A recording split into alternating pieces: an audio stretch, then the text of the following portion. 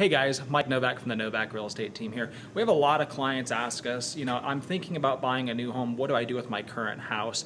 And that's a really great question to ask, and it really requires a lot of planning on your part and on our part together to come up with a great strategy on how you're going to sell your current home and move into the next home without any problems in between.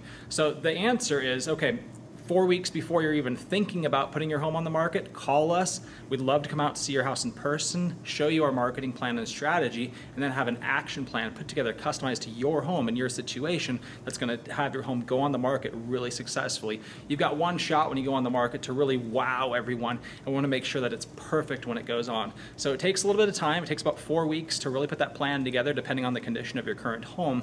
And we want to get some action on your current home and either get it pending or at least have some significant market exposure to it before we go tie up a new home. So obviously, you know, you can do a contingent offer. Contingent offers are looked at a little weak in this market. You know, if, if someone comes in with a non-contingent offer, it's going to make your contingent offer uh, probably get pushed aside. So the way to mitigate that is get your home pending first and then come in with a pending contingent offer. That way there's no risk for the seller.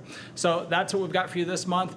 Get your home going quickly and get us out there to get an action plan for you customized to your home before you start looking at the next home. Mike Novak with the Novak Real Estate Team. Have a great day.